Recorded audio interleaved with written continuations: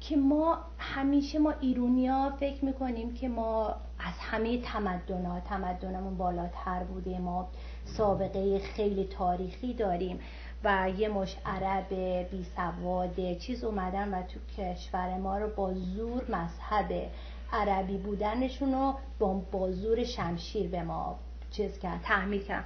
ولی واقعا زمانی که ما قبل از زمانی که مردم ما ایرونیای ما یا به صورت دین زردشت آین زردشت ما داشتیم. آیا واقعا میشه قبول کرد با اون تمدنی که ما داشتیم؟ با اون چیزی که ما خودمون برتر از همه تمدن ها می‌دونیم عرب تونسته با زور شمشیر بیاد و مردم ما ملت ما رو مجبور کنه به لا اله الا الله گفتن؟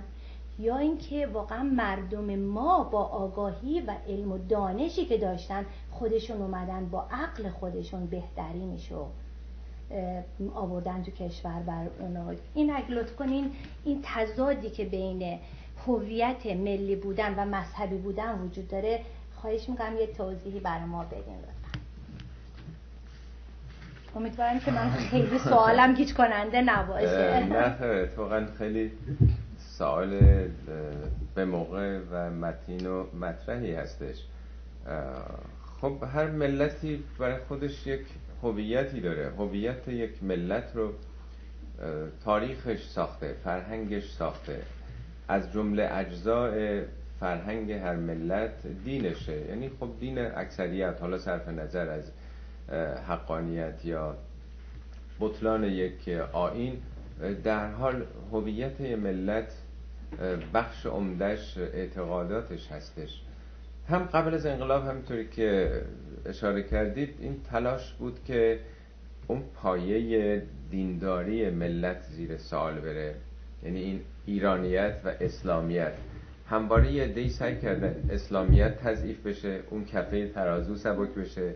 یه دی هم تلاش کردن که ایرانیت تضعیف بشه. به خصوص بعد از انقلاب با مخالفت با بعضی از سنت های ملی عید نوروز مثلا سیزده به در. بعضی از فعالیت هایی که جنبه ملی داره. خواستن اون بعد رو تضعیف بکنن. جنبه مردمی بودن ملی بودن در واقع ملی گرایی ضد اسلام. این افکار خب بوده بعد از انقلاب. یه دیم همه قبل از انقلاب تلاش داشتن که زبان رو عوض بکنن خط رو عوض بکنن که اصلا نفی بکنن این 1400 سالی که ایرانی بر حال در چارچوب اندیشه اسلام زندگی کرده. بزرگانی تحویل تاریخ بشریت داده و به اون بود دینی صدمه. بله. اخیرا یا مدت هاست بعد از انقلاب این تلاش همواره بوده که اون بعد مذهبی رو تضعیف بکنن در واقع ما هم ایرانی هستیم و هم اکثریت مردم من نمی‌خوام نفی بکنم اندیشه های دیگر رو مذاهب دیگر رو ولی به هر حال خوب یا بد بیش از 90 درصد 95 درصد ملت ما مسلمون هستن. حالا اهل تسنن یا شیعه این ساختار جامعه ماست واقعیت ماست هویت دین ماست. من فکر نمی کنم که حاصلی برای ملت داشته باشه. تلاش برای ایجاد تفرقه برای تشتت برای دشمنی برای ایجاد زدیت برای ایجاد متلاشی کردن یک وحدتی که تو جامعه هست با حمله به یکی از این بخش های هویتی ما. این چیزی رو حل نمی‌کنه این آب به آسیاب دشمنان میریزه. حاصلی برای ملت در واقع به نظر بنده این نداره که اگر بخوایم این تلاش رو بکنیم. و مهمتر از این که حالا اشاره شما فرمودین که دائما این تبلیغ میشه که یه مشت عرب جاهل بی سواد سوسمارخور شترچران از سهاری عربستان آمده. ما رو که یک فرهنگ برتری داشتیم یک ملت گل سرسبد ملت های جهان بودیم ما رو شکست دادن دینمون رو بردن. و ایرانیان با زور شمشیر لا اله الا الله گفتند مسلمون شدن خب این دائما صبح و شب داره این چیزا تبلیغ میشه. اینجا تو تلویزیون در جای دیگه. واقعا این چنین بوده؟ سوال همینه واقعا. بله. آیا اصلا کسانی که این حرفو می‌زنن فکر نمی‌کنن چه توهین عظیمی به ایران و ایرانی می‌کنه؟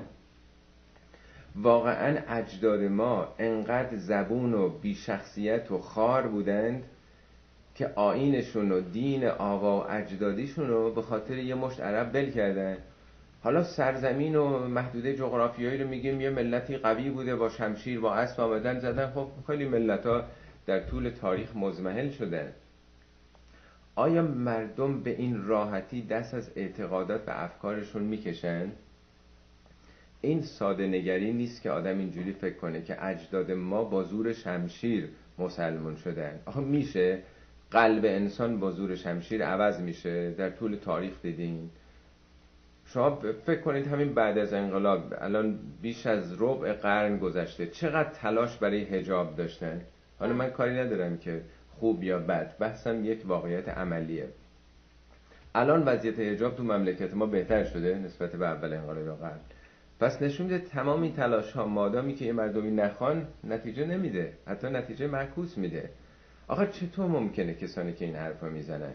یه ملتی با اون سابقه تاریخیش با زور شمشیر اعتقاداتش و دینش و بوسیده گذاشته کنار از موی سر تا ناخن پام شده مذهبی شده مسلمون.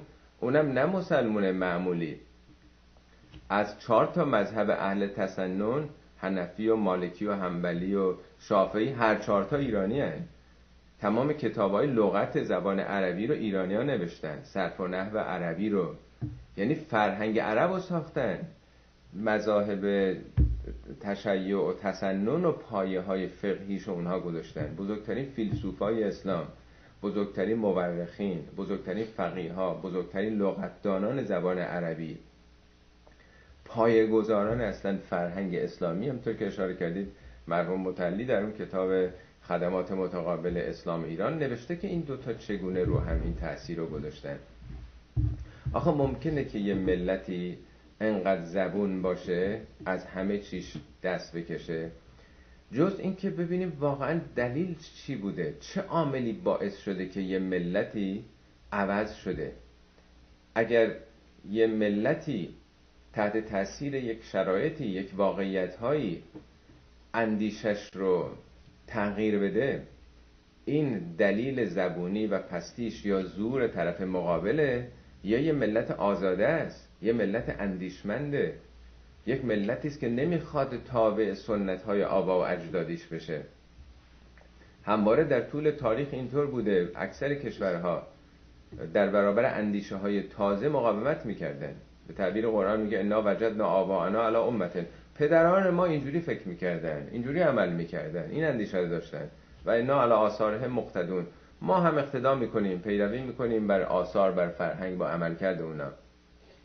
ولی این افتخار ما ایرانی که وقتی که در یک شرایط نابسامان اجتماعی قرار داریم یک رژیم سیاسی منحتی یک رهبری منحتی بر جامعه حاکمه وقتی یه اندیشه منحت شرکامیزی به نام دین بر جامعه حاکمه حاضر میشیم در برابر یک اندیشه مترقیتر تغییر بکنیم عوض بشیم این یک امتیاز بالای یک ملته که می‌تونه متناسب با شرایط جدید خودش رو انتباق بده می‌تونه یک شرایط بهتری رو پذیرا بشه. بنابراین این ساده نگریه خیلی ها به صورت سطحی قشری با پدیدهای تاریخی می‌خوان برخورد بکنن. باید ببینیم که چه عاملی وجود داشته که مردم ما تغییر جهت دادن تغییر آین و شیوه در زندگی دادن. چه شرایطی بود و چه چیزی عرضه شده بود که در این ارزیابی انتخابشون تعلق گرفت به این شرایط تازه. هم باید شرایط سیاسی رو بسنجیم. کیا حکومت می‌کردن؟ اونا که حکومت می‌کردن چه ویژگی هایی داشتند؟ رهبری سیاسی مملکت چگونه بوده؟ اندیشه مذهبی حاکم بر جامعه چگونه بوده که مردم دست شستن؟ آیا از تعالیم اصیل زرتشت که دسترسی چندانی هم بهش نیست سه هزار سال پیشه آیا از اون دست شستن؟ یا اونچه که به نام دین عرضه می شده. دینی که حاکم بوده دینی که سلطه داشته. ببینید خیلی ها ممکنه تو این روزگار از دین استفا بدن. دین رو کنار بذارن. از کدوم دین استفا میدن؟ نه از بهشون بله دقیقا. از دینی که